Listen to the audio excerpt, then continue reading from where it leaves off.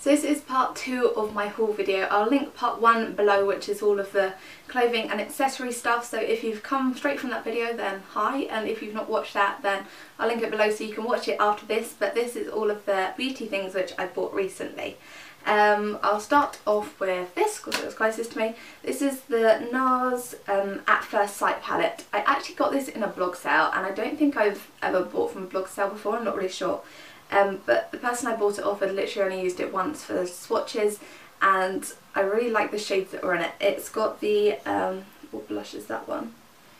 Um, it doesn't say but I think this is called the Deep Throat Blush and this is Laguna Bronzer and I really wanted to try Laguna and it's got four really nice neutral eyeshadow shades in it with a purple too which I think is always nice to have some brighter colours which you can wear and just brighten up a look because it's quite boring just wearing browns and golds and that sort of thing the whole time.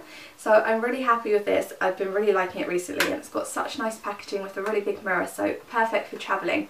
I got these three Becca eyeshadows from Fragrance Direct. They've got them on there for, I'm not sure how much it is, but it's under £3 each, which is such a bargain because I think they're meant to be around, I'm probably making this up, but around £18. They're quite a bit more expensive than the MAC ones. Um, and last time I checked they did have quite a few shades left. I got these three ones. There's a kind of a pinky one, a greeny one and a purpley one which as I was saying it's nice to have some different coloured eyeshadows instead of just the boring browns and golds. I've not actually used the pink one yet, I've just used it for swatching but I've used this green one quite a lot. The green one's called Chintz and um, I'm thinking of getting MAC Sumptuous Olive because I think that would look so nice with this um, green colour um, just kind of blended out in the crease. And yes I've been really really liking this. And the lilac one is quite nice with the purpley one from this NARS palette. So all in all I've got loads of new eyeshadow looks to play with with all of these different colours. And I'd recommend if you look on there just looking at the Becca eyeshadows because they're so well pigmented and for around £3 each it's such good value for money. And the packaging for them is really really nice as well. I've got two MAC quads and I don't know which colours I've shown before and which I haven't so I thought I'd just show both of them because I've kind of swapped the colours around a little bit. Um, I don't have a colour for this one but I'm going to pop Sumptuous Olive in there once I've got it. Um, so the colours I have is, um, can you see? Wait, if I lift the lid you'll be able to see.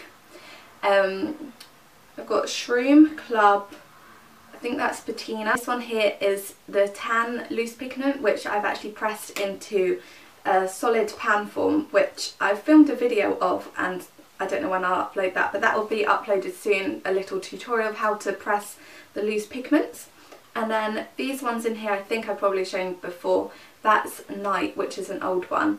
Um, and that's All That Glitters and woodwinked but it's really nice having them in quads because you can make your own little quad of each colours instead of having a big 15 palette where there's just so many and I'll probably just stick to using the same colours over and over again and not giving all the rest of them some use.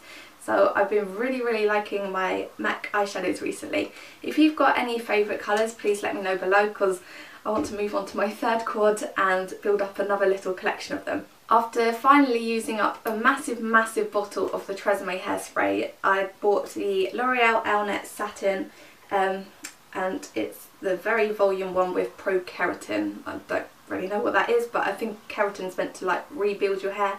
You may have just seen that on a random advert, but I love the packaging for this. It's gold and pink, which are two very nice colours, and I've not even used this barely, but yeah, it's nice.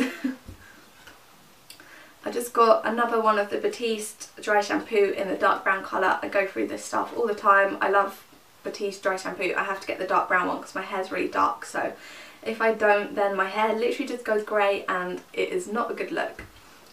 I got the um, La Roche-Posay Effaclar Duo Plus. I had just been using the normal Effaclar Duo but that ran out and this one had just been released so I thought I would give this one a go um, I haven't noticed any difference at all compared to the normal duo but yeah I really like this product. And last but not least is the L'Oreal 3-in-1 um, Purifying Micellar Solution. Um, I've had this for a few weeks now. I just used this to take my makeup off before using the Emma Hardy um, cleansing balm to properly get my makeup off. This is just so I don't have to use as much of the cleanser because it's around 30 odd pounds a pot which is quite expensive and I quite like this just to take my mascara and everything off too. It does a really good job. I want to try the Garnier one next because lots of people have been saying that that one's even better and it's even better value for money. So if you've got a preference, please tell me which one you prefer because everyone seems to say something different and I'm not quite sure which one seems to be better. So that was all of the beauty things I bought. I haven't been too crazy with the makeup recently. I've just kind of been sticking to what I've been wearing normally but just with a few different eyeshadow thrown in really. Um, if you've got anything exciting let me know because I'm always on the lookout for new products. Um, thank you for watching and I will see you in my next video. Bye!